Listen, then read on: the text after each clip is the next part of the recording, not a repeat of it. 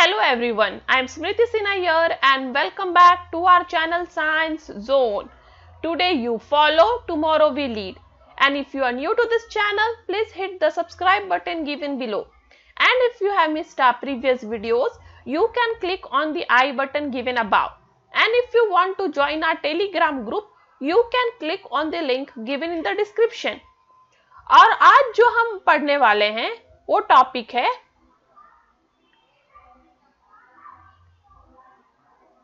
Solid state. तो ये solid state topic number one है, Maharashtra state board syllabus standard twelve से। इस टॉपिक का हम क्विक रिवीजन करने वाले हैं। तो ये हम देखने वाले हैं solid state chapter in one shot, a quick revision of solid state chapter. तो इसमें हम ज़्यादा वक्त नहीं गवाते हुए हम लोग शुरू करते हैं with quick revision of solid state. तो सॉलिड स्टेट में जो फ़र्स्ट इंपॉर्टेंट थिंग है, जो आपके सिलेबस में है, वो है आइसोमॉर्फिज्म एंड पॉलीमॉर्फिज्म आइसोमॉर्फिज्म मतलब दो या दो से ज़्यादा सब्सटेंस जिनमें सेम क्रिस्टल स्ट्रक्चर होता है। उसे हम कहते हैं आइसोमॉर्फस सब्सटेंस और उस फिनोमिनन को कहते हैं आइसोमॉर्फिज्म पॉलीमॉर्फिज्म मतलब एक सब्सटेंस जो दो या दो से ज़्यादा क्रिस्टलाइन स्ट्रक्चर में एग्जिस्ट करता है। उसे कहते हैं पॉलीमॉर्फस या उस फिनोमिनन को कहते हैं पॉलीमॉर्फिज्म तो आइसोमॉर्फिज्म मतलब ओ क्रिस्टल स्ट्रक्चर जो दो या दो से ज़्यादा सब्सटेंस सेम क्रिस्टल स्ट्रक्चर में एग्जिस्ट करे। एंड पॉलीमॉर्फिज्म मतलब एक सिंगल सब्सटेंस जो दो या दो से ज़्यादा क्रिस्टलाइन फॉर्म में एग्जिस्ट हो। Further classification of crystalline solids तो सॉलिड्स दो टाइप के हैं क्रिस्टलाइन एंड एमोर्फस तो वो वाला पार्ट आपके सिलेबस से डिलीट हो गया है तो हम सिर्फ़ चलेंगे क्लासिफिकेशन ऑफ़ क्रिस्टलाइन सॉलिड्स की तरफ़. तो सॉलिड्स तीन टाइप में क्लासिफाइड है क्रिस्टलाइन सॉलिड फ़र्स्ट है आयोनिक सॉलिड सेकेंड है कोवैलेंट नेटवर्क सॉलिड थर्ड है मॉलिकुलर सॉलिड और फोर्थ है मेटेलिक सॉलिड आयोनिक सॉलिड्स और covalent solid molecular solids and metallic solids में डिफरेंस क्या है? तो पहला है पार्टिकल्स ऑफ़ यूनिट सेल तो आयोनिक सॉलिड बना है कैटायंस और एनायन से कोवैलेंट नेटवर्क सॉलिड बना है कोवैलेंटली बॉन्डेड एटम से मॉलिकुलर सॉलिड बना है मोनो एटॉमिक या पॉली एटॉमिक मॉलिक्यूल से एंड मेटेलिक सॉलिड बना है मेटेलिक आयंस जो सी ऑफ़ इलेक्ट्रॉन से घिरे हुए हैं।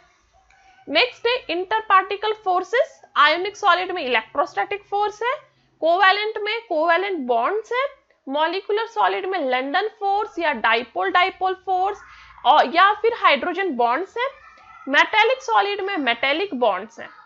हार्डनेस की बात करें तो ionic solids hard and brittle है कोवैलेंट नेटवर्क सॉलिड बहुत ही हार्ड है मॉलिकुलर सॉलिड सॉफ्ट है और मेटेलिक सॉलिड में वेरिएबल जो है प्रॉपर्टीज़ है, वो सॉफ्ट से लेके हार्ड तक पाए जाते हैं। मेल्टिंग पॉइंट की बात करें तो आयोनिक सॉलिड में एक strong intermolecular force that is electrostatic force होने की वजह से उसका मेल्टिंग पॉइंट हाई है।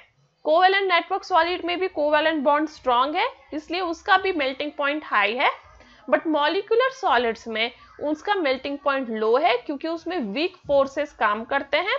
और मेटेलिक सॉलिड में डिपेंड करता है लो से हाई तक उसका मेल्टिंग पॉइंट आपको मिलेगा। थर्मल एंड इलेक्ट्रिकल कंडक्टिविटी की बात करें तो ionic solid poor conductor of electricity है या फिर हीट है इन सॉलिड स्टेट बट यदि वो मोल्टन स्टेट या डिजोल्व स्टेट में होंगे तो वो बहुत अच्छे conductor of heat and electricity है। कोवेलेंट सॉलिड की बात करें तो पुअर कंडक्टर्स होते हैं except for graphite and diamond सारे covalent solids poor conductor of heat and electricity है बट ग्रेफाइट और डायमंड को छोड़ के। Graphite good conductor of electricity है और diamond good conductor of heat molecular solid की बात करें तो molecular solid poor conductor of heat and electricity है एंड मेटेलिक सॉलिड्स तो good conductor of heat and electricity है, क्योंकि उसमें फ्री इलेक्ट्रॉन्स है। एग्जाम्पल्स की बात करें तो आयोनिक सॉलिड का एग्ज़ाम्पल है N S C L C F CaF2 covalent network solids का एग्जांपल है डायमंड सिलिका मॉलिकुलर सॉलिड का एग्जांपल है ice benzoic acid metallic solid का एग्जांपल है sodium magnesium copper gold silver अब टाइप्स ऑफ़ यूनिट सेल तो unit cell के basically four types हैं. पहला है प्रिमिटिव और सिंपल यूनिट सेल ये है प्रिमिटिव और सिंपल यूनिट सेल जिसके सिर्फ़ कॉर्नर्स में एटम्स प्रेजेंट है. कॉर्नर्स में वन एथ एटम प्रेजेंट है. और एट कॉर्नर्स है, इसलिए वन एट इंटू एट इसलिए total number of atom present है वन नेक्स्ट है body centred unit cell body centred unit cell में कॉर्नर्स में एटम्स तो प्रेजेंट है बट उसके बॉडी के सेंटर में भी एक एटम प्रेजेंट है. तो कॉर्नर्स में एट एटम्स मतलब एट कॉर्नर्स में एट एटम्स प्लस बॉडी के सेंटर में एक एटम तो इस तरह से टू एटम्स प्रेजेंट होते हैं. नेक्स्ट है face centred unit cell third type जिसके कॉर्नर्स में तो एटम है बट हर एक फेस पे भी एक एटम प्रेजेंट है। तो एट कॉर्नर्स में वन एट एटम प्लस हर एक फेस पे जो है, वो हाफ़ एटम प्रेजेंट है। तो सिक्स फेसेस पे हाफ़ एटम प्रेजेंट है। इसका टोटल करोगे तो आपको मिलेगा one plus three that is four तो फेस सेंटर में टोटल एटम्स फोर प्रेजेंट है। लास्ट है बेस सेंटर्ड यूनिट सेल जिसके कॉर्नर्स में एटम्स प्रेजेंट है और हर एक बेस पे, ऊपर और नीचे वाले बेस पे हाफ़ हाफ़ एटम प्रेजेंट है। तो कॉर्नर पे eight atoms eight one eight atoms in eight corners plus half in two faces तो ये हो जाता है टू एटम्स तो इस तरह से चार टाइप्स ऑफ़ यूनिट सेल है। जिनमें से हमें क्यूबिक या सिंपल यूनिट सेल को डिटेल में पढ़ना है। तो क्यूबिक या simple unit cell three types में है। Simple cubic unit cell, body centred unit cell, face centred unit cell. ये तीन पार्ट आपके सिलेबस में सिंपल यूनिट सेल में हर एक कॉर्नर में सिर्फ़ एटम है और टोटल मैंने काउंट करके आपको दिखा दिया है, उसमें one particle per unit cell होता है। टोटल स्पेस ऑक्यूपाइड याद रखना हो तो है 52.4 percent space occupied. Simple cubic unit cell का एग्जांपल है पोलोनियम। नेक्स्ट है बॉडी सेंटर, जिसके कॉर्नर्स में एटम है और एक बॉडी के सेंटर में। इसलिए यहाँ पे two particles per unit cell present है और आपको इसका स्पेस ऑक्यूपाइड पढ़ना है तो है 68.04 परसेंट और इसका एग्ज़ाम्पल है आयन एंड सोडियम नेक्स्ट है फेस सेंटर जिसके कॉर्नर्स में है एटम्स और साथ में हर फेस पे हाफ़ तो टोटल फोर पार्टिकल्स प्रेजेंट है and space occupied is 74 percent है कॉपर एंड एल्यूमिनियम नेक्स्ट है packings so close pack structure solids में प्रेजेंट होते हैं। तो उसकी थ्री टाइप्स है। Close packing in one dimension close packing in two dimension close packing in three dimension one dimension में आपके जो सॉलिड पार्टिकल्स होते हैं, बस एक दूसरे से एक लाइन में जुड़ते जाते हैं तो ये one dimension close packing in two dimension दो टाइप का है। That is square close packing and hexagonal square hexagonal close packing square close packing में जो ये वन डायमेंशनल वाला लाइन है, वो एक दूसरे के एग्जैक्ट अबाव अरेंज होता जाता है। देखिए, एक दूसरे के एग्जैक्ट अबाव एक अरेंज होते गया है। तो ये बन गया टू डायमेंशन और ये स्क्वायर क्लोज पैकिंग क्यों है? क्योंकि रैंडमली आप कोई भी एक पार्टिकल पकड़े और उसके जो कोऑर्डिनेशन नंबर देखिए मतलब टोटल कितने कोऑर्डिनेशन उसको एटम डायरेक्टली अटैच हैं। तो आप देखोगे तो चार डायरेक्टली अटैच एटम है। और चारों को यदि आप ज्वाइन करोगे तो एक स्क्वायर बनता है। इसलिए इसे स्क्वायर क्लोज पैकिंग कहते हैं। हेक्सागोनल क्रॉस पैकिंग में जो वन डायमेंशनल वाला आपका पैकिंग है, वो एक दूसरे के जो बीच का स्पेस है, उसमें जाके फिट होता है। ठीक है? तो ये एक दूसरे के एग्जैक्ट अबाउ नहीं होता, एक दूसरे के बीच में। तो सपोज़ स्क्वायर क्लोज पैकिंग में इसको आप ए बोलो तो दूसरा भी लाइन ए ही है, तीसरा भी ए है, चौथा भी ए क्योंकि सब एक दूसरे की तरह ही है। बट हेक्सागोनल पैकिंग में यदि एक लाइन ए है तो दूसरा बी है। फिर तीसरा पहले की तरह ही है, इसलिए ए है। चौथा दूसरे की तरह है, इसलिए बी है। तो A B A B type है। अब इसमें बात करेंगे हम, ये हेक्सागोनल क्यों है? क्योंकि कोई भी एक पार्टिकल रैंडमली लीजिए, उसको कोऑर्डिनेशन आप नंबर देखिएगा तो सिक्स है। और उस सारे पार्टिकल का आप सेंटर जोड़े तो आपको एक हेक्सागोन मिलेगा। इसलिए hexagonal square hexagonal close packing है। नेक्स्ट है close packing in three dimension तो उसमें थ्री टाइप्स है. Stacking of square close pack layers अब इसमें क्या होता है, जो आपका स्क्वायर क्लोज पैकिंग वाला ये लेयर है टू डायमेंशन वाला, वो एग्जैक्टली exactly एक दूसरे के अबाव अरेंज होता है. तो ये पहला लेयर जो दूसरे लेयर के एग्जैक्टली अबाव है, फिर तीसरा लेयर के उसके एग्जैक्टली अबाव है. तो ये सारा वापस ए ए ए टाइप है. क्योंकि पहला लेयर सपोज़ ए है तो दूसरा भी ए है और तीसरा भी ए है. और ये जो ये क्लोज पैकिंग से जो बनता है, वो सिंपल क्यूबिक स्ट्रक्चर आप देख सकते हो सिंपल क्यूब बना हुआ है। नेक्स्ट है stacking of two hexagonal close pack layer जिसमें सिर्फ़ दो हेक्सागोनल क्लोज पैक लेयर एक दूसरे के ऊपर आते हैं। तो ये एक हेक्सागोनल एक क्लोज पैक लेयर है, ये, और इसके ऊपर ही दूसरा हेक्सागोनल क्लोज पैक लेयर है। ठीक है, और इससे बनता है टेट्राहेड्रल वॉइड्स नेक्स्ट है placing three third hexagonal close pack layer अब जो ये दो क्लोज पैक लेयर्स बना दिया आपने स्टैकिंग से उस पर तीसरा रखना है। तो इसमें भी दो टाइप प्रेजेंट है। एक टाइप में जो है, आप देख सकते हो, ये जो ए है, फिर बी है। ठीक है? तो पहला लेयर ए है, दूसरा लेयर बी है तो तीसरा भी ए है। तो तीसरा की वो पहला की तरह ही है तो ये हो गया A A B A B type दूसरा हो जाएगा ए फ़र्स्ट लेयर ए है, दूसरा बी है, तीसरा सबसे अलग है दैट इज़ सी फिर चौथा पहले की तरह फिर ए तो ये हो जाएगा A B C A B C type तो इस तरह से ये है पूरा क्लोज पैकिंग नेक्स्ट है number of voids per atom in HCP and CCP तो एचसीपी कहाँ पे बनता है? जब आपका three hexagonal layer A B A B type में अरेंज होता है तो एचसीपी बनाता है और जब three hexagonal layer A B C A B C type में बनता है तो सीसीपी बनाता है. तो एससीपी या सीसीपी में वॉइड्स का नंबर हमें देखना है. तो यदि आपके पास नंबर ऑफ़ स्पीयर्स या नंबर ऑफ़ पार्टिकल्स एन है तो ऑक्टाहाइड्रल वॉइड वॉइड भी एन होंगे और टेट्राहाइड्रल वॉइड उसके double that is two N होंगे।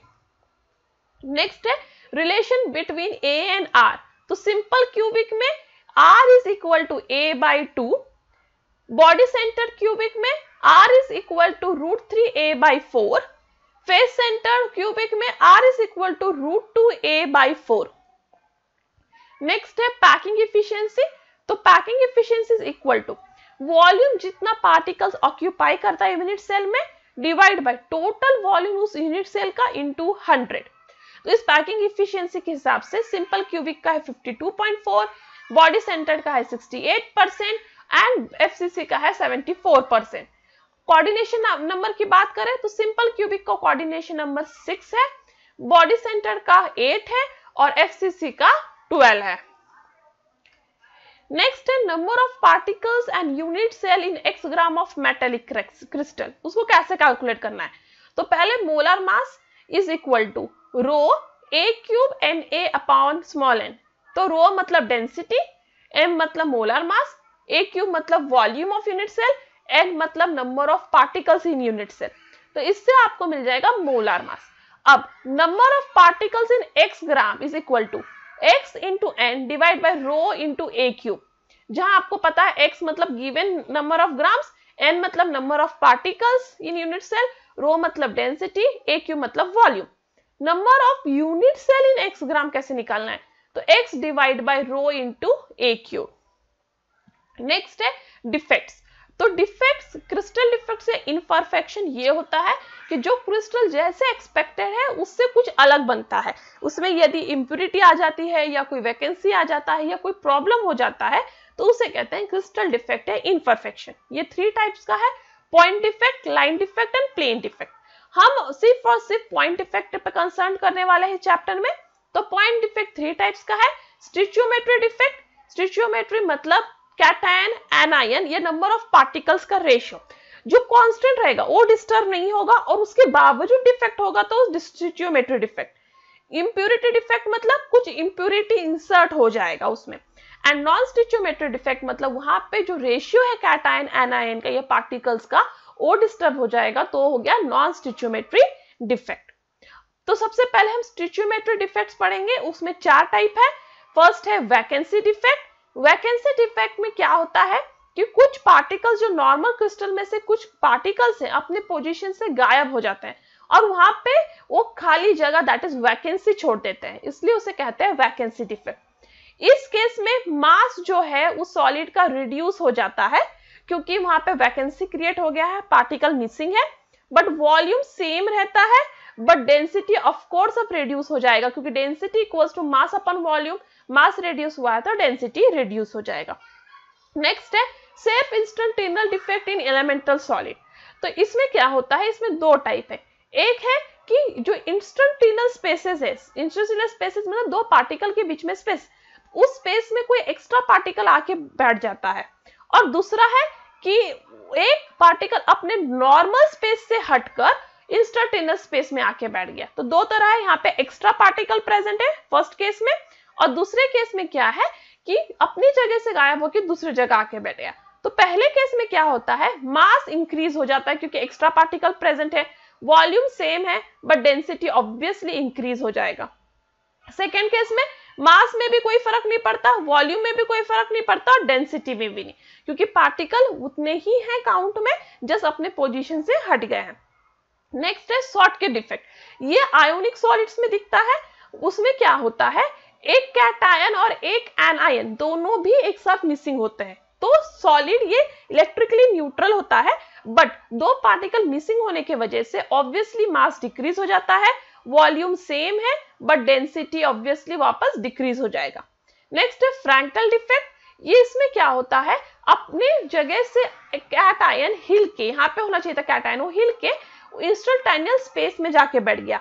तो Frenkel defect actually vacancy defect और इंस्टेंटेनियस डिफेक्ट का कॉम्बिनेशन है, जहाँ पे वैकेंसी भी क्रिएट हुआ है इंस्टेंटेनियस में एक और पार्टिकल आके बैठ गया है। तो ये हो गया फ्रैंकल डिफेक्ट इसमें डेंसिटी में कोई चेंज नहीं होता। नेक्स्ट है इंप्योरिटी डिफेक्ट जो दो टाइप का है substitutional impurity defect and interstitial impurity defect substitutional impurity defect में कोई पार्टिकल दूसरे को सब्सिट्यूट कर देता है तो यहाँ देख सकते हो आप, ये ब्रास का एग्ज़ाम्पल है, जहाँ मेन जो मेटल है वो कॉपर है, जिसको कुछ जिंक पार्टिकल सब्सिट्यूट कर रहे हैं। दूसरा है, दूसरे टाइप में क्या होता है नॉर्मल एक पार्टिकल मिसिंग हो जाता है वैकेंसी क्रिएट करता है, और यहाँ पे भी ये सब, और उसके जो, इसकी जगह पे क्या होता है, दूसरा कोई एक ऐसा पार्टिकल आ जाता है, जो उसके चार्ज को बैलेंस कर रहा है मिसिंग वाले जो आयन है, उसके चार्ज को बैलेंस कर रहा है बट यहाँ पे एक वैकेंसी तो क्रिएटेड है। तो ये हो गया सब्सटीट्यूशन इम्प्यूरिटी इफ़ेक्ट जैसे एस आर ने यहाँ सोडियम को सब्सटीट्यूट किया है।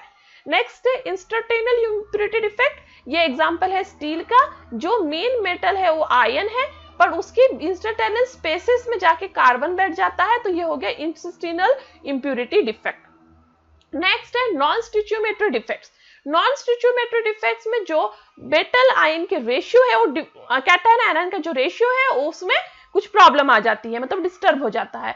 तो पहला है मेटल डिफिशियंसी डिफेक्ट जिसमें एक मेटल आयन अपने नॉर्मल पोजीशन से गायब हो जाता है वैकेंसी क्रिएट करता है, और उसके चार्ज को बैलेंस करने के लिए। दूसरा मेटल आयन अपना जो है ऑक्सीडेशन स्टेट बढ़ा लेता है। तो नॉर्मली यहाँ निकल टू प्लस में था या थ्री प्लस में है। तो उसने क्या किया? सॉलिड को तो इलेक्ट्रिकली न्यूट्रल कर दिया बट एक वैकेंसी क्रिएटेड है, जो मेटल की डिफिशियंसी की वजह से, इसलिए ये हुआ मेटल डिफिशियंसी डिफेक्ट नेक्स्ट है मेटल एक्सेस डिफेक्ट जिसमें एक्सेस न्यूट्रल एटम इंस्टेंटेनियस स्पेस में आके बैठ जाता है, जिससे मेटल का काउंट बढ़ गया है बट ये मेटल आयन ऑक्सीडेशन स्टेट में न्यूट्रल होता है, इसलिए इलेक्ट्रिकल न्यूट्रलिटी स्टिल मेंटेन रहती है। And that's all for today thank you तो ये वाला जो सॉलिड स्टेट का जो वीडियो है, मैंने शॉर्ट में solid state in one short पढ़ा दिया है।